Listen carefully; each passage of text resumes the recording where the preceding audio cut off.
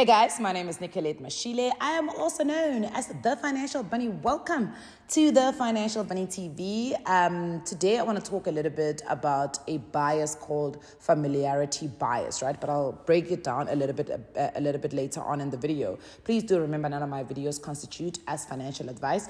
If you are, however, looking for financial advice, please speak to somebody that is certified and registered with the FSCA. So let's get into it. So I just came back from my walk, right? By the way, I've got a very cool challenge that I want to challenge you guys on, right? Or I'm challenging myself rather. So I'm passing it on. So I walk 10,000 steps every single day. So I read somewhere where if you don't like exercising, you still need to give the body some movement, right? Um, I, I don't mind walking because when I walk, I can do a whole lot of things. I can I can listen to um, um, um, um a podcast. I can write down my thoughts and uh, ideas. I can listen to meditation. I can actually work. For me, that one hour that I walk every single day helps me actually do some work. So it's part of my morning routine now, right? So I walk 10,000 steps if I don't make the 10,000 steps, let's say for instance I walk 7,000 steps, I will take the 3,000 steps and I will multiply it by 10 cents and whatever the value is, I will then deposit into a savings account and hopefully be able to use that money for something else, right? Um, so it's it's a whole wealth is health, health is wealth, whichever one that comes. Anyway, as I was walking, I realized something that I do, and it's so funny because I've been doing it for years and have not actually kind of realized it and let it click in my head. So I have a gospel playlist, right, on my Apple Music, and it has stayed the same probably for the last four years, right? It has stayed the same. I think I've got 17 tracks on that gospel um, um, um, um, um, playlist. And let's be fair, I'm not a music person. Um, people ask me what type of music you listen to, and I'm like, I listen to anything that I like. If I like a song, I'm going to listen to it. I obsess over it. I am a Virgo after all. Um, I'll just keep listening to it all the time. So I realize now in this gospel um, um, playlist that I've got, so I play gospel in the morning just to get my, you know, tempo right, to get my mood right.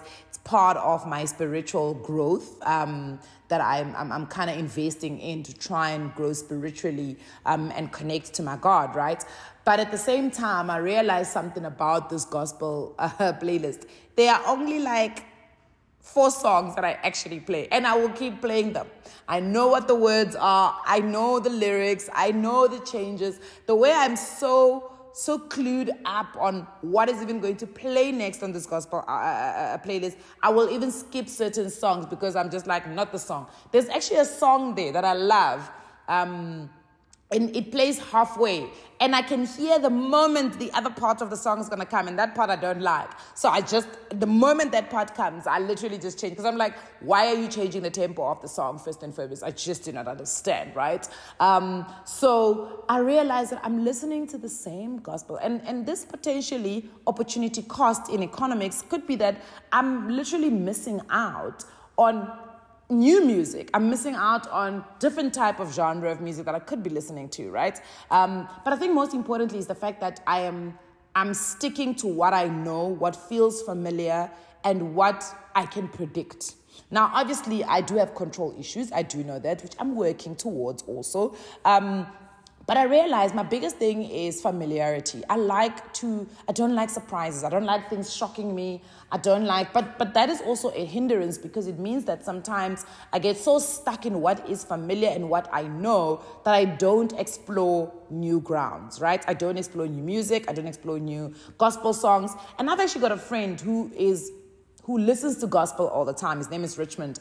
And I always see him talking about Ntokozo and all of these other you know, gospel artists. And obviously, I mean, Richmond is a musical genius. So I should be, you know, leaning into him to say, oh, what new gospel songs are out there that will give me, you know, the oomph that I'm looking for in the morning.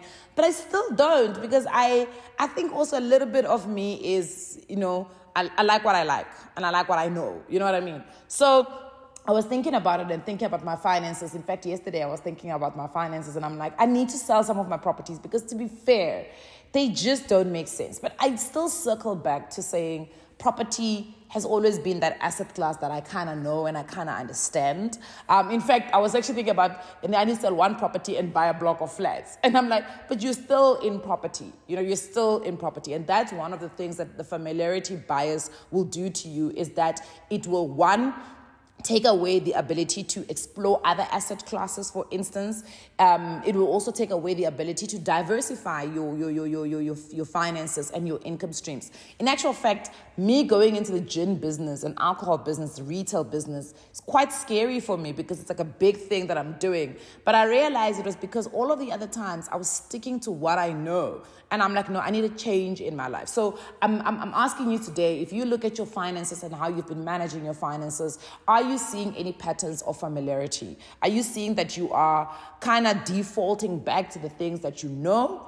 Um, and of course, we always say invest in things you know, invest in things you understand. But just because you don't know it today and you don't understand it today does not mean you don't invest in understanding it, right? So, granted, you may not understand, um, for instance, um, uh, uh, uh, contractual date agreements. You may not understand um, CFDs. You may not understand. Some people just don't even understand stock market and understanding how the stock market works or the bond market rather. Um, you know, with high interest rates, um, um there are certain asset classes that are going to be doing quite. A, uh, uh, they're going to be thriving because those are the environments in which they thrive in, right? Um, and the issue, and even property, you know um, a lot of us think we know property so well, but there are other aspects. Like, for instance, even within property, my property is heavily invested in buy to let and nothing else. Like, I'm afraid, like, I'm doing a bit of development now, but I'm afraid of things like buying to uh, a fixer upper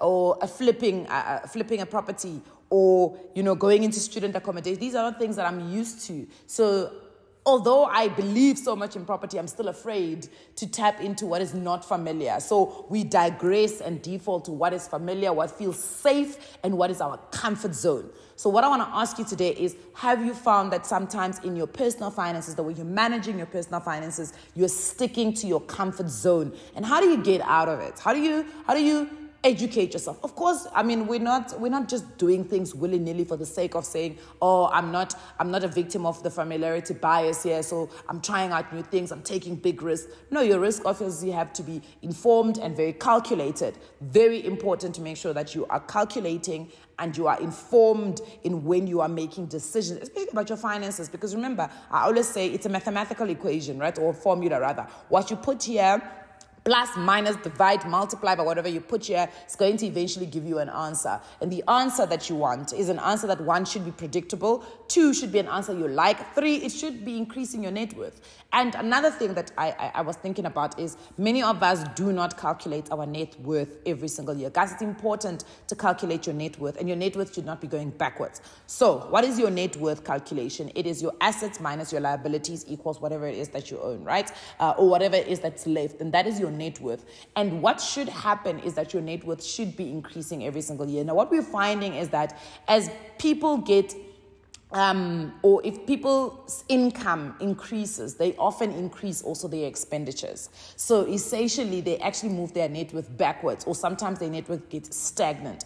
Yes, there are going to be those years in your life where you are kind of accumulating, so your net worth starts to grow because you are early, let's say your early 20s, where you've just started a new job, you will have your net worth kind of skyrocketing because you are now all of a sudden having money, you can buy assets, and if you're very smart and invest in really good assets, you know, your net worth will come up. And then you'll get to a point where in your life where you're starting to take out credit agreements. Maybe you're buying a car on loan, you're buying a house on loan, maybe you're taking out a credit card, and all of a sudden now your net worth starts doing this. And you need to make sure that you are riding this wave when your net worth is kind of starting to, to, to decline or to level out. That is when it's going to be very, very important for you to keep a very good eye on your net worth. Do not lose control of your net worth to a point where it starts to go down like this because obviously higher interest rates means your liabilities are going up. Um, and in high interest rates, your liabilities generally will go up, right? Because you're paying out more um, to managing those debts and those liabilities. So it's very, very critical to make sure that you are taking care of that net worth. I know I just threw in the net worth thing when I was talking about the familiarity bias, but it just felt like it was quite an important thing to say at this moment. And you know, you guys know I'm a conduit of um, whatever higher power is giving us this information. So I just thought I should say it right now. But I'm going to leave it here. Do remember none of my videos constitute as financial advice. I'm not saying go out there and take out products just for the sake of not being a victim of the familiarity bias. I'm saying take care of everything. All right, bye. Mwah.